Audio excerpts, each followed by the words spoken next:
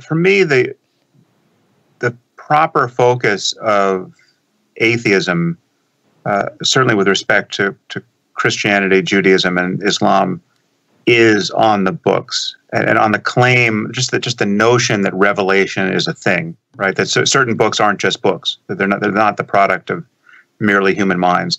Because once you make that seem implausible, I mean that that is the foundation of these faiths. I mean that that's the founding claim, and once that begins to erode, everything begins to sag and and ultimately topple. Because if you can't if you can't rely on the if the book is just a book, we're just talking about a book like the Iliad or uh, one of Shakespeare's plays, then none of the none of these commitments make sense, right? It's like then it's just then you can pick and choose, and then then you you can you can use what's useful and throw out the rest, and then you I mean the path to moderation and and pluralism and secularism is just wide open. Uh, but barring that, but but the, the, the moment you, you you dignify this this claim that these are magic books, uh, you know, however moderate you may seem, right? However mu- how much however much you have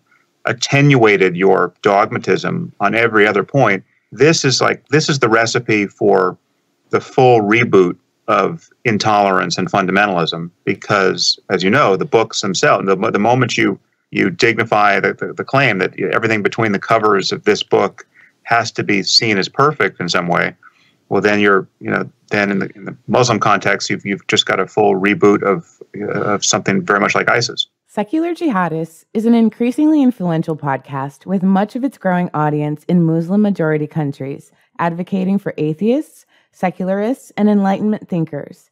We want to reach out to more people.